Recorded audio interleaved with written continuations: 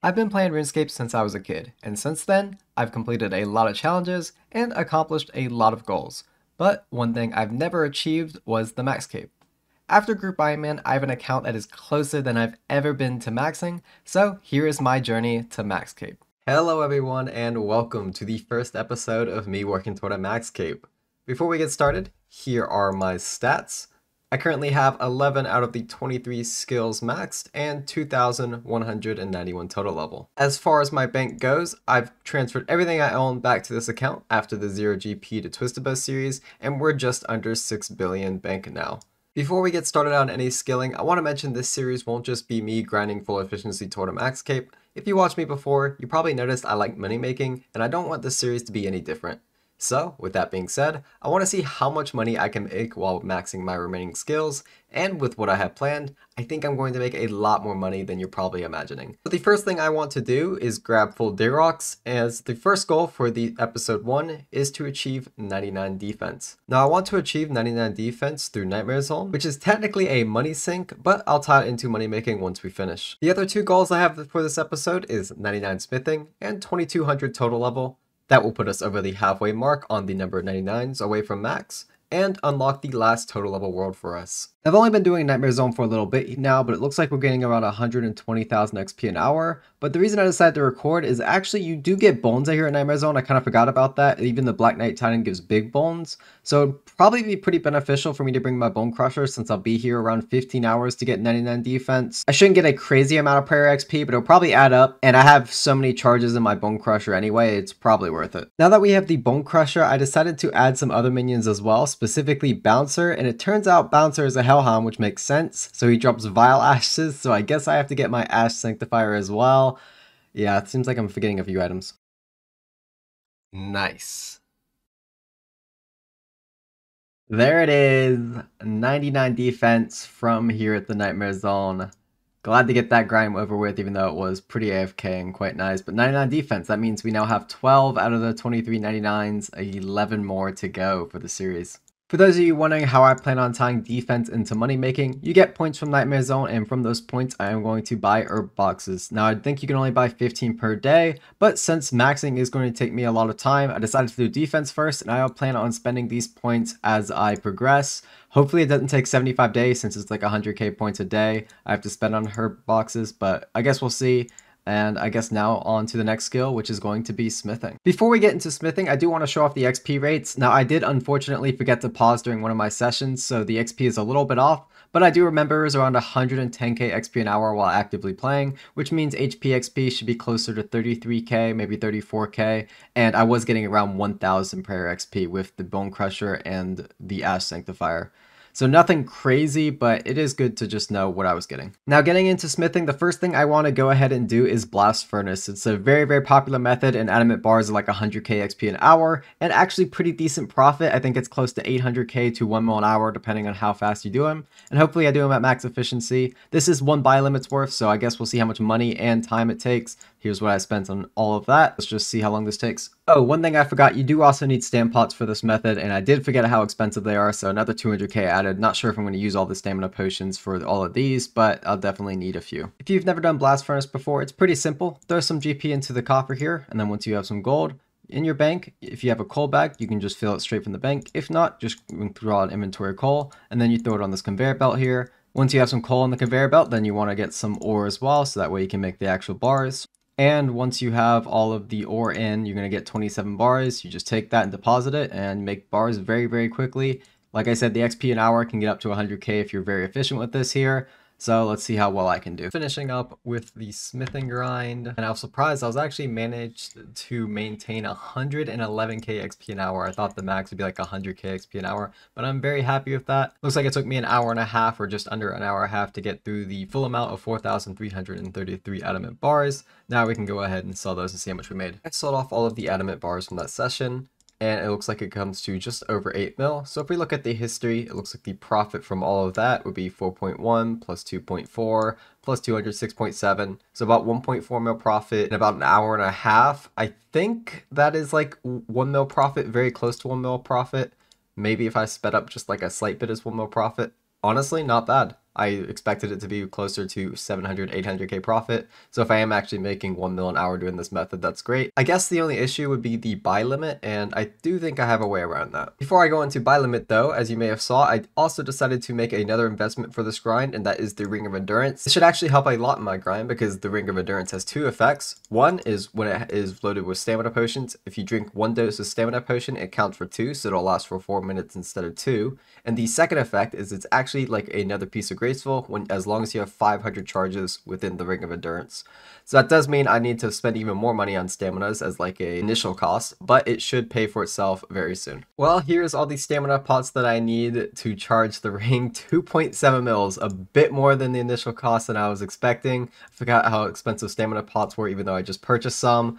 Let's add a thousand charges to the ring, and now those stamina pots are gone forever. Finishing up the adamant bars here with the new Ring of Endurance tech, and I have to say, I think it definitely has made a difference. I think I was getting around 110k XP an hour without it and with it I'm getting closer to 115k XP an hour which doesn't sound like a lot but I think even with max efficiency you can get closer to 120,000 XP an hour which means you can get this entire thing done in like an hour and 15 minutes if you're paying attention the entire time. So overall not a bad upgrade for the grind. Just selling off all of the adamant bars again for what looks like around the same profit 1.5 mil yeah, something like that. So not too, too bad. The only thing I have to worry about now is getting around the buy limit. As you can see, if I try to buy coal for even 100k, it won't let me buy because there is a buy limit on coal. So there is a way around it and it's actually pretty simple. I have my other account here and all I'm going to do is go ahead and trade him and then give him the money to buy the coal and adamant on his account. And since both adamant and coal are free to play items, I don't even need membership so it's very very nice. I can basically have infinite accounts. As long as it has 10 quest points and I think 100 total level, you can free trade. There are the ores plus the money back so very nice and I can basically do this as many times as I have accounts to do this, which should be plenty of time for the 4 hour buy limit. There's 97 smithing from the blast furnace. I think I want to get one more level here and do a new method that I want to do from 98 to 99 smithing. However, like I said, that will take me 98 smithing to do it. So one more level here, I guess 1.1 million more XP at the blast furnace. The final bit of adamant ores, which should get me up to 98 smithing. We get to try the new method that I wanted to try. But first, let's see how much money we've made. After all that smithing training, we were up to a 21.4 mil cash stack. However, I did have to spend like 28 mil to buy the Ring of Endurance and like 2.7 mil to charge the Ring of Endurance. As for profit, I believe I made 1.5 mil every time I bought a buy limits worth of adamant ore and coal, and I bought about 10 buy limits worth, so I guess we made 15 mil within that grind and you saw the XP per hour, about 110, 120k with max efficiency, so not terrible, but let's move on to the next method. The next method we're to try is pretty costly, as you can see, 21 mil and runite bars. Let's head over to an anvil. What I want to do from 98 to 99 smithing is actually make runite two-handed swords. Now, unfortunately, you do need 99 smithing to make rune 2Hs, so I can't actually make it right now, but fortunately for me, Dwarven Stouts are extremely cheap, so all I gotta do is drink one of these, it'll boost your smithing level by one, and then I can make as many Runite 2Hs as I'd like, and if I ever need to drink another one, like I said, they're extremely cheap, so it's basically no cost to boost. Rune 2 seem to be doing pretty well. It looks like it's about 250k XP an hour when I'm paying attention, so overall, that's not too bad. I guess the only bad thing is I do have to use a Dwarven Stout every, I guess, 1.5 minutes, but it is what it is. They're pretty cheap. But off all the Rune 2Hs I made from the Runite bars, it looks like with this, I made less than 100k, bought for 21.395, sold for 21.470 after tax, so yeah, not great, but it is like twice as fast, if not even faster than that, and you are still profiting while making smithing. Maybe I'll try, instead of doing Rune 2Hs, I could try Rune Plate Legs since it is also three bars and they have the same alch value, or maybe I can just try to get a better margin. I think I'm gonna buy even more and then see what I can do with that. I ended up selling all of the Rune Plate Legs and it does look like I got a better margin than what I was getting with the 2Hs. As you can see here, I sold the 2Hs for looks like after tax 37,614 and this is the tax was 37,814, so like an extra 200 GP.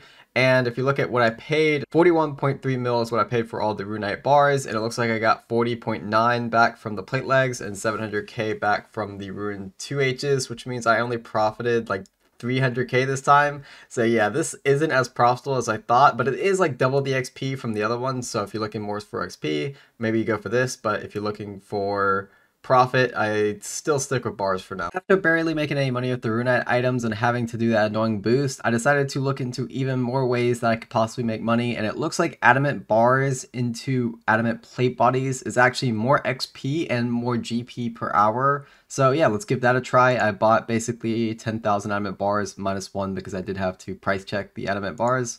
So yeah, let's see how much XP I'm going to get per hour doing this and how much money I can possibly make. Finishing up the adamant plate bodies that we have, and it looks like we were averaging about 280k XP an hour, which is not bad.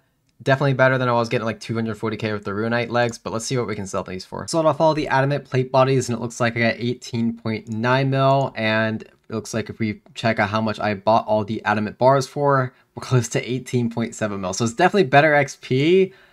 However, for money, it's pretty much the same, maybe slightly worse, honestly it seems like it's profit still, but it, you're just not getting as good as you were making the adamant bars himself. And since it's only 228k until I get 99 smithing, I may as well just do two hours adamant bars, make a little bit more money. Definitely a bit slower doing it at Blast Furnace, but there it is, 99 smithing. That is the second 99 now of the episode. But I do have three goals for this episode, not only to get 99 defense, 99 smithing, but also 2,000 total level, so four more to go. The best thing about doing adamant bars is the profit. 11.2 mil there, and you can see how much I spent on it. It looks like that's 2.7 plus 6.7, 9.4 mil, and I got 11.2 back. So yeah, way better than what I was doing with like the adamant plate bodies and the rune 2Hs. Yeah, that's that's not too great. The final goal for this video, 2200 total. I think I want to do just entirely with fletching. That'll get me up to 90 fletching. So no longer will my Tears of Guthix go into fletching, which is a terrible skill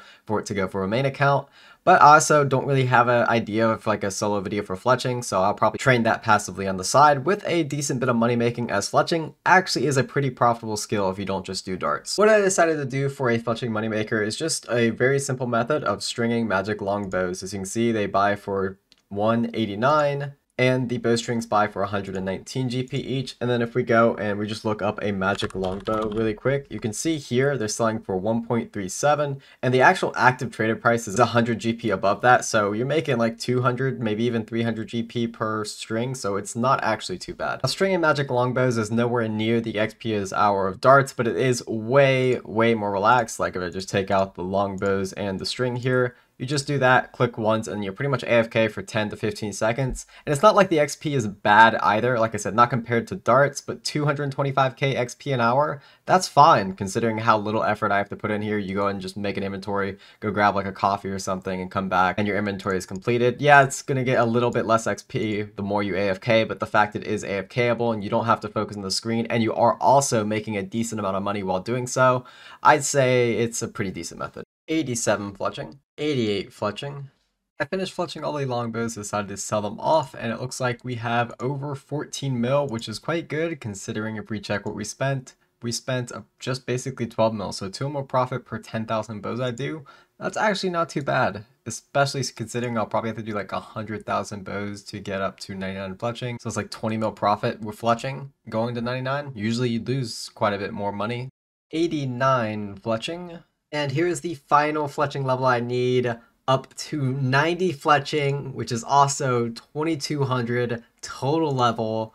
That is pretty cool. Uh, this is the first time I've ever had an account that has 2200 total level. That means I can now hop to like the super, super sweaty worlds. I guess these worlds right here. Will it just immediately let me in? Yes, here it is, the 2200 total level world. This is where all the nerds hang out. I assume everyone here is to be like level 126. I'm like the only level 124 here, but that is it.